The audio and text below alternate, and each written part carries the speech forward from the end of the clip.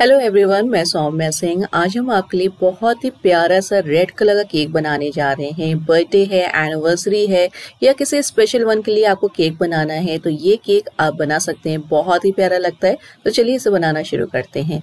सबसे पहले यहाँ मैंने केक को तीन लेयर में काट लिया है। ये सिक्स इंच का केक है और यहाँ मैंने डेढ़ ग्राम प्रेमिक्स का यूज़ किया है। आप चाहें तो केक को मैदे से भी बना सकते हैं, घर के सामानों से और एक कप जो मैदे का रेशियो होता है, उससे आपको केक बनाना होगा।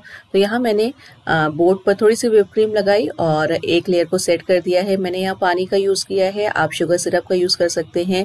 विप क्रीम को अच्छे से स्प्रेड कर दिया है और थोड़ा सा मैंने पाइन क्रश डाल दिया है। आप कोई भी फ्लेवर का केक बना सकते हैं क्रश यूज़ कर सकते हैं, या बिना क्रश के भी आप इस केक को बना सकते हैं। तो सेम प्रोसेस अपनाना है और तीनों लेयर को सेट करना है।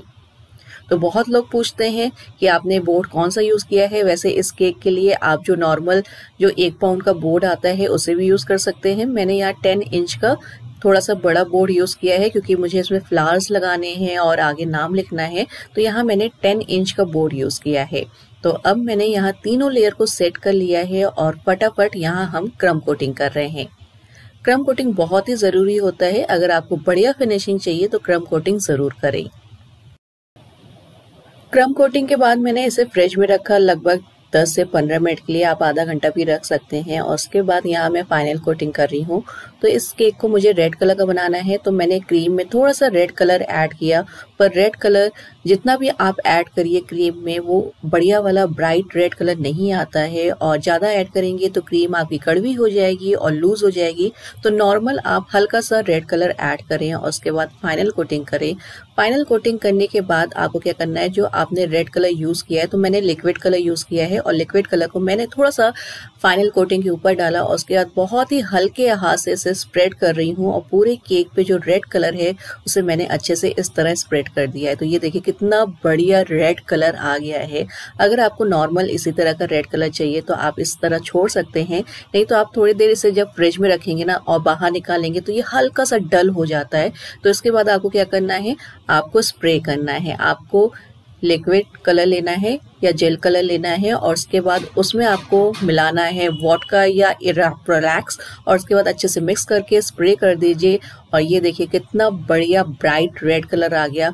अगर आपको लग रहा है कि इवन नहीं है तो हल्का सा स्पैचुला या जो पायलट नाइफ होती है उसे हल्के हाथ से आप चलाइए और जो कलर है उसे अच्छे से स्प्रेड कर दिए और ये जो रेड कलर है ये ऐसे ही बना रहेगा।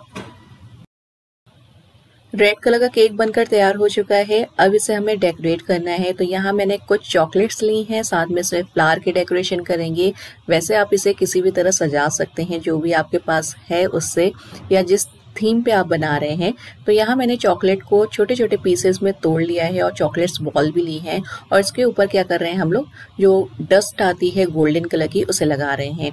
आप इस पे सिल्वर या कॉपर जो भी आप पैटर्न का केक रखना चाहते हैं, उस तरह आप इसे रख सकते हैं। तो मैंने रेड पे गोल्डन ही चलता है तो गोल्डन कलर का डस्ट लगाया है और ये लिक्विड जो डस्ट आता है डस्ट का ड्रॉप जो इसे कहते हैं, इस तरह आता है।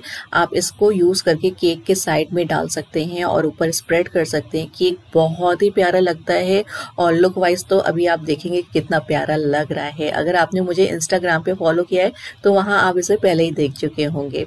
तो बस मैंने इसे स्प्रेड कर दिया है।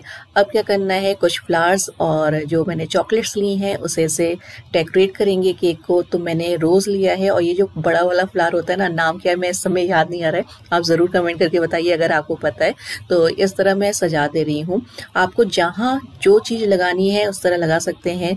पर इस तरह का भी केक बनाएँगे ना तो बहुत प्यारा लगता है। पता नहीं वीडियो में आपको समझ में आ रहा है कि नहीं, इसका लुक, पर सामने से ये बहुत ज़्यादा खूबसूरत लग रहा था तो आप ज़रूर ट्राई करिएगा अगर आप इस तरह का केक बनाना चाह रहे हैं। तो मैंने कुछ इस तरह फ्लावर को अरेंज कर दिया है और जो अब चॉकलेट के पीसेस हैं, बॉल हैं, उसे आगे डाल देते हैं। और ये देखिए, बहुत ही प्यारा सा केक बनकर तैयार होने वाला है। और ये केक बर्थडे के लिए बन रहा है। तो यहाँ जो रेड कलर का केक है ये बनकर बिल्कुल तैयार है।